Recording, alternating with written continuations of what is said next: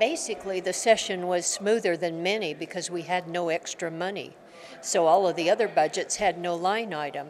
I felt a concern when we came back after the propositions failed and we had that 35 million left in a line item.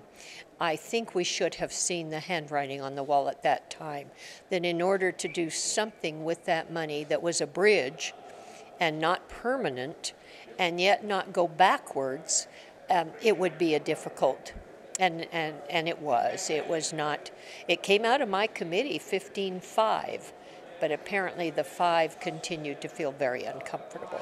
There's always been a push pull there, and there always will. You cannot address a dollar without addressing policy. And it's a fine line for us. We've tried to back away from it. This time, that 35 million was very difficult to not not delve into policy on. As a rule, it's just simply kind of what we call boilerplate language. You put the money there and then you do just a brief explanation of what you expect will happen.